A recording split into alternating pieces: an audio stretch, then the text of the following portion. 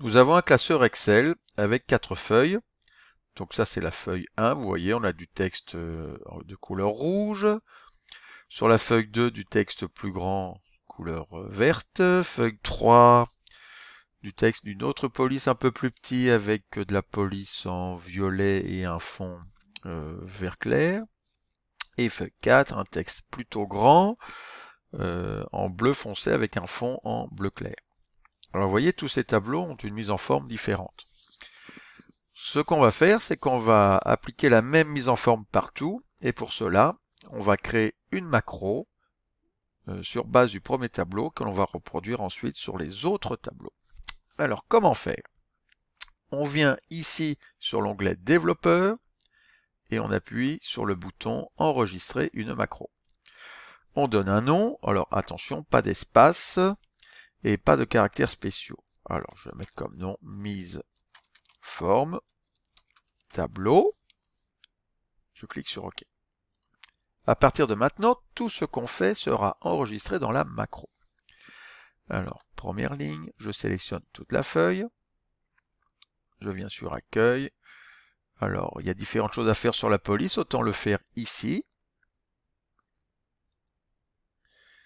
Alors, la police Calibri, je descends. sinon, je vais écrire là-haut. Calibri. Hein. Calibri.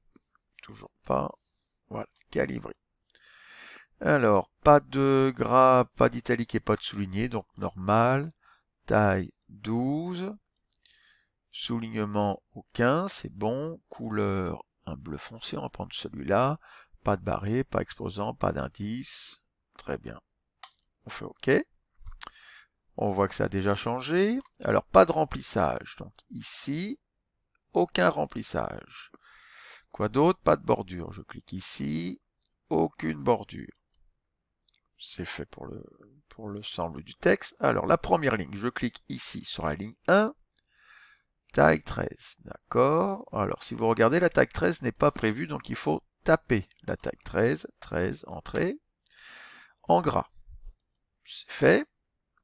Alors, on va ajuster la largeur des colonnes. Alors, pour le faire sur l'ensemble du tableau, il faut cliquer à nouveau ici sur l'ensemble de la feuille. Donc, format, ajuster la largeur de colonne.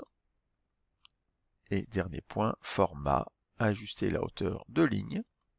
C'est fait, on a terminé.